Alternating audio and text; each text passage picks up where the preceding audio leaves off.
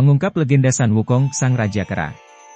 Hai para petualang dalam dunia mitologi dan cerita rakyat. Selamat datang kembali di saluran stasiun ilmu. Hari ini, kita akan memulai perjalanan yang menakjubkan ke dalam dunia legenda kuno, saat kita mengungkap kisah menakjubkan dari tokoh legendaris San Wukong, Sang Raja Monyet. Bersiaplah untuk terpesona oleh cerita yang telah melewati ujian waktu, penuh dengan keberanian, sihir, dan pencarian kebesaran. Pegang erat kursi Anda, karena di sinilah kegembiraan benar-benar terungkap. San Wukong, bersenjatakan tongkat legendarisnya dan tekad yang tak tergoyahkan, memulai perjalanan untuk menggoyang tatanan surga. Melawan para dewa dan dewi itu sendiri, ia berpetualang ke dasar lautan, ke dalam api gunung berapi, dan bahkan ke ranah surgawi. Di sepanjang perjalanan, ia bertemu dengan sekelompok karakter berwarna, mulai dari Juba Jie yang garang hingga Tang Sanzang yang bijaksana, membentuk persekutuan yang tidak mungkin dalam misi pencerahan. Saat petualangan Wukong terungkap, narasi yang lebih dalam menjadi pusat perhatian, perjalanannya menuju pencerahan. Dari penyebab masalah yang usil hingga pelindung yang setia, ia mengalami transformasi mendalam yang melampaui kemampuan fisiknya yang hebat. Tanpa basa-basi lagi, mari kita mulai. Cerita kita dimulai di alam mistis Tiongkok kuno, di mana langit dan bumi saling terhubung. Lahir dari sebuah batu, kelahiran San Wukong bukanlah kelahiran biasa. Dengan rasa ingin tahu yang tak terpuaskan dan haus akan pengetahuan, Wukong muda memulai perjalanan pencarian diri. Saat ia berlatih seni bela diri dan mendapatkan kekuatan serta kegesitan yang luar biasa, reputasi Wukong menyebar luas. Namun, kekuasaan datang dengan harga, membawanya menuju jalur pemberontakan yang akan mengubah takdirnya selamanya. Kisah keajaiban dan fluktuasi ekspresi sepanjang zaman.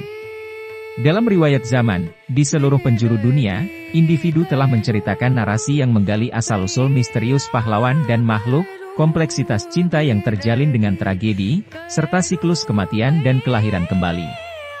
Cerita-cerita ini, sering disebut sebagai mitologi, memainkan peran penting dalam membentuk keadaan zaman dahulu. Mereka berusaha untuk menjelaskan aspek-aspek yang tidak dapat dijelaskan dalam kehidupan, melampaui penjelasan biasa dan masuk ke dalam wilayah misteri. Melangkah ke timur yang jauh, di tengah luasnya lautan, muncul gunung megah yang dihiasi dengan banyak buah dan bunga. Ini bukanlah gunung biasa, melainkan gunung Wago yang mempesona. Di puncak gunung ini terdapat batu besar yang memancarkan energi langit, menyelaraskan kekuatan langit dan bumi, terikat dengan cahaya matahari dan bulan. Batu besar ini menyembunyikan rahasia luar biasa, telur batu raksasa. Pada zaman dinasti Zhao, angin lembut mengelus permukaan telur batu yang keras, menyebabkan retakan di permukaannya. Dari dalam celah ini muncul seekor kera yang tangguh, seekor primata yang tunduk hormat kepada arah utara, selatan, timur, dan barat, dan memulai perjalanan penjelajahan. Makhluk lincah ini menjelajahi medan dengan tujuan, melepaskan sinar emas yang bersinar dari matanya dan menembus tirai langit, mencapai kerajaan surga.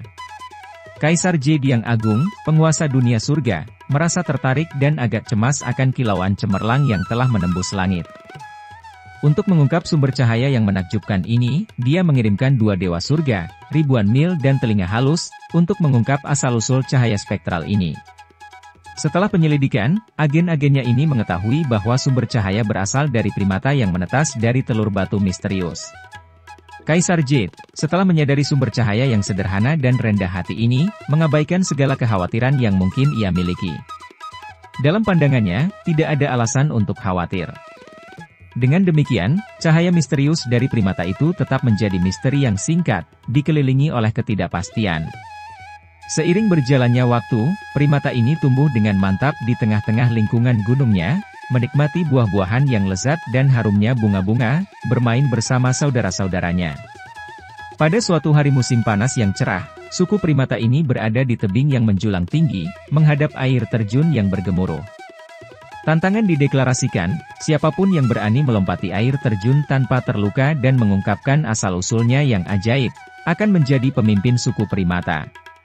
Digerakkan oleh keberanian, primata yang berasal dari batu itu meluncur dari tebing, terjun ke dalam derasnya air terjun dengan tekad yang bulat.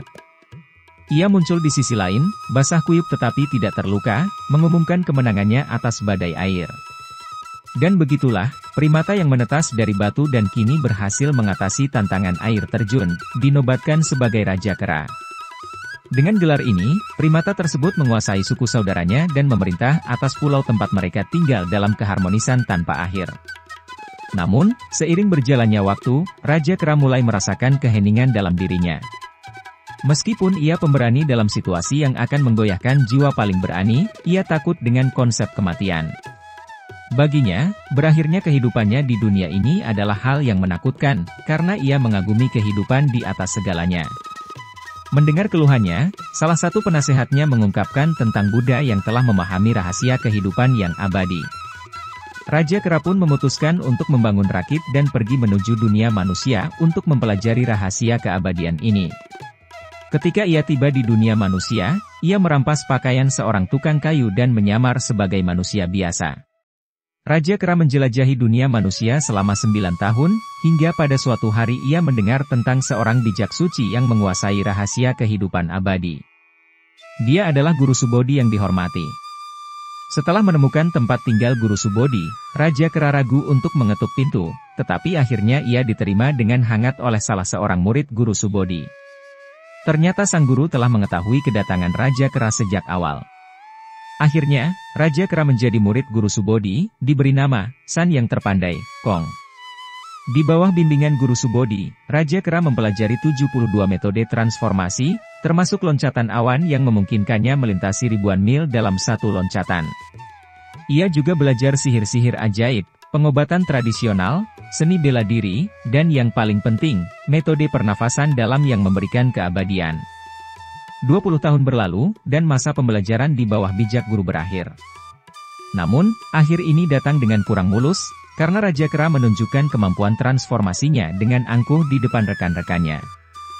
Dengan hati yang berat, ia meninggalkan rumah guru dan berjanji untuk merahasiakan statusnya sebagai murid guru Subodi.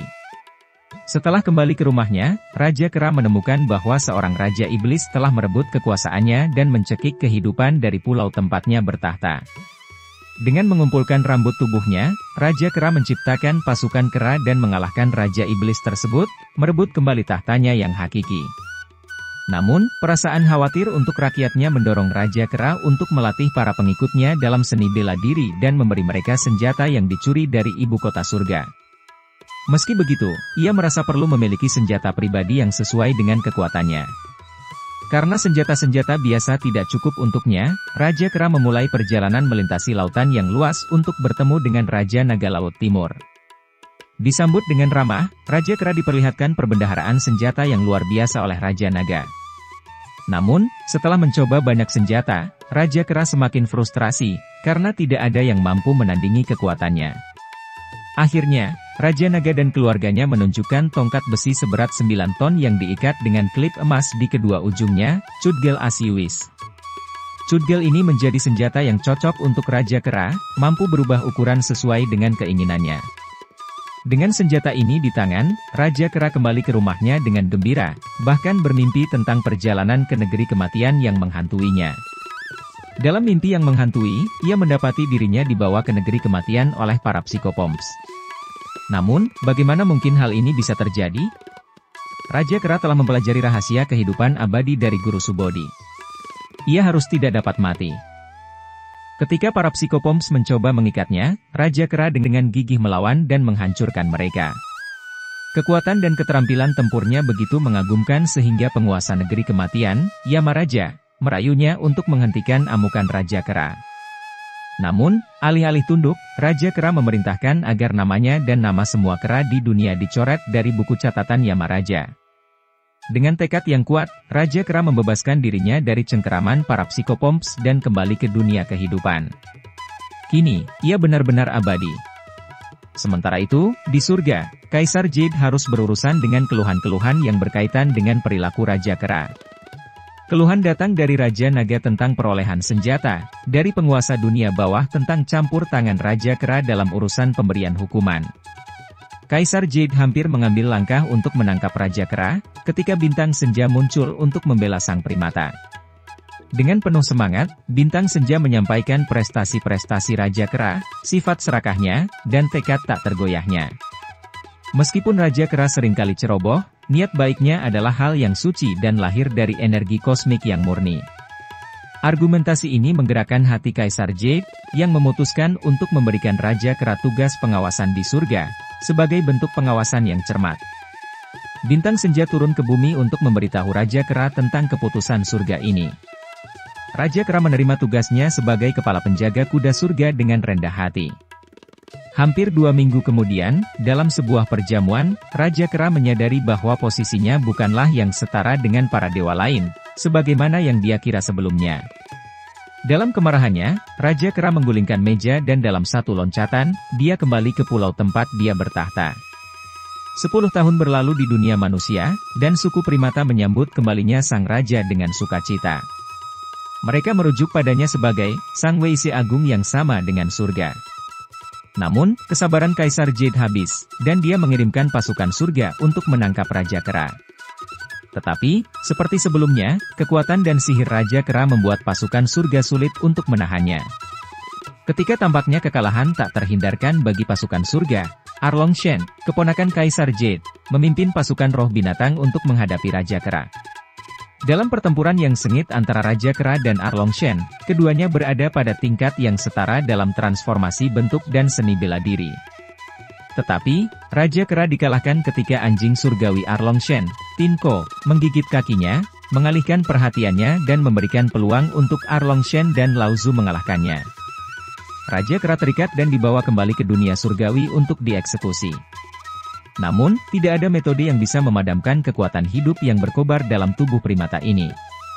Pertemuannya dengan Guru Subodi, konsumsi buah surgawi, anggur surgawi, dan pil alkimia telah menjadikannya tak terpengaruh oleh takdir kematian. Bahkan penyikapan dalam tungku ajaib Lauzu selama 49 hari hanya membuatnya semakin kuat.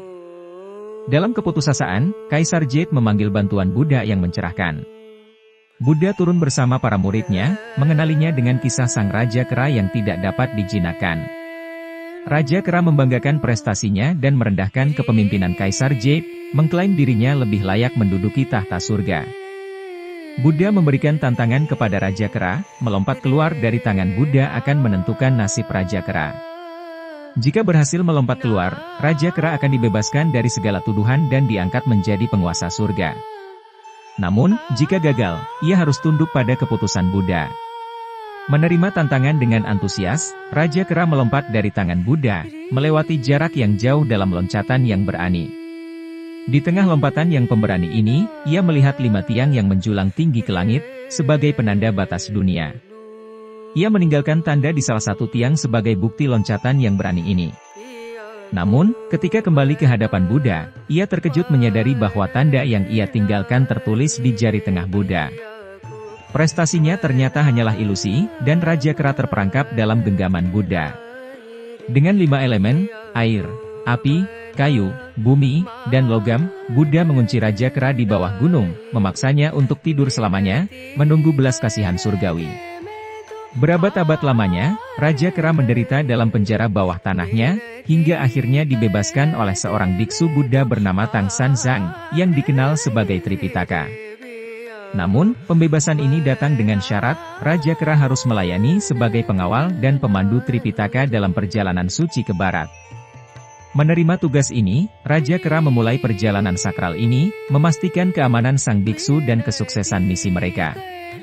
Namun, kisah penutupan ini terletak dalam narasi yang berbeda, menantikan saatnya untuk diceritakan.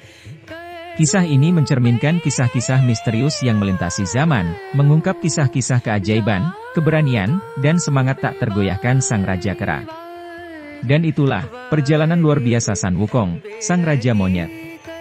Sebuah saga tentang evolusi jiwa yang penuh rasa ingin tahu dari si pengacau nakal hingga menjadi simbol semangat dan kebijaksanaan yang tak terkalahkan.